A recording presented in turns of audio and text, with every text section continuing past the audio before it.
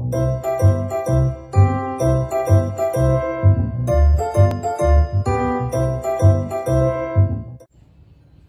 boys and girls, it's Miss Chloe from Collier County Public Library. I'm here today for a special Reading in the Garden at the Naples Botanical Garden as you can see. Um, I'm going to read you a couple books about gardens today.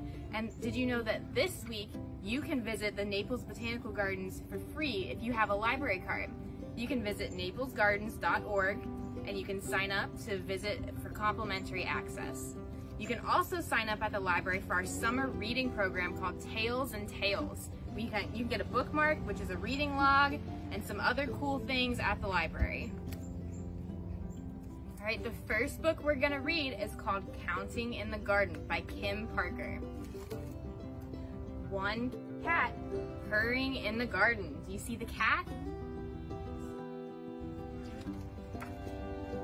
Two turtles meeting in the leaves. Can we count the turtles? One, two.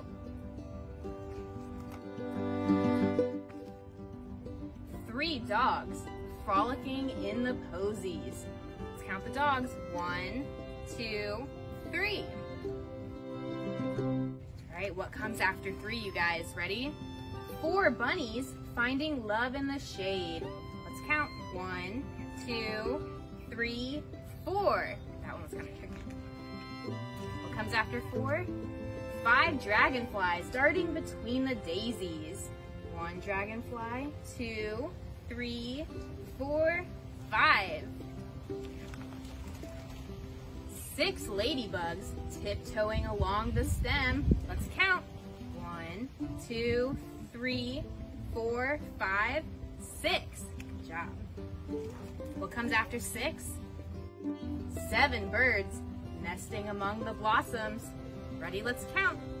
One, two, three, four, five, six, seven birds. And what comes after seven, guys? You guessed it, eight bumblebees buzzing in the blooms. Ready? One, two, three, four, five, six, seven. Where's eight? Eight bumblebees. And after eight comes nine inchworms inching towards the petals. Ready? Let's find them all. One, two, three, four, five, six, seven, eight, nine. That one was really tricky. I hope you found them all. And after nine comes 10 butterflies flitting among the flowers. Let's count to 10. Ready?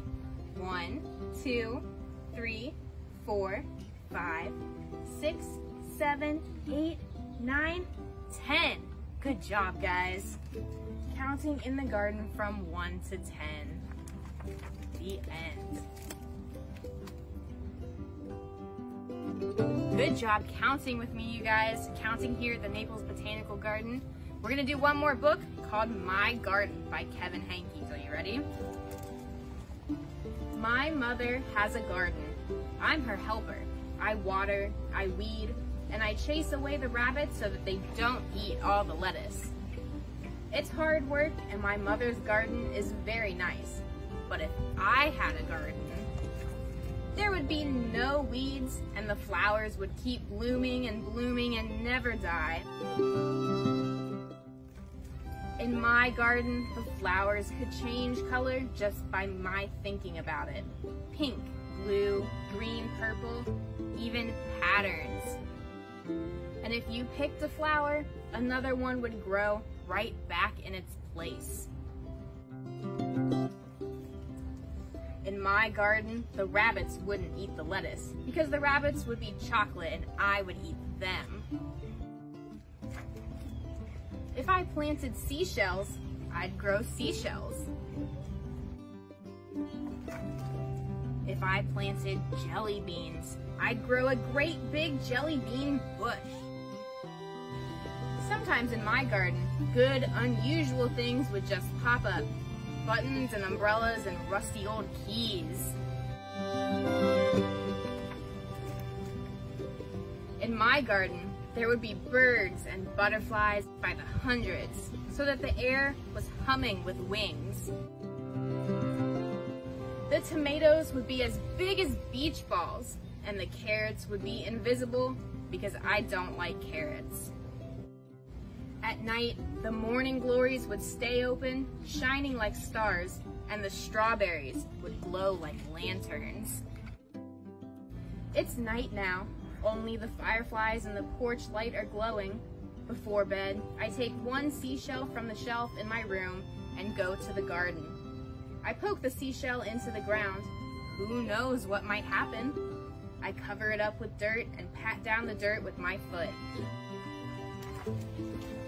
What are you doing? asks my mother. Oh, nothing. Just working in the garden.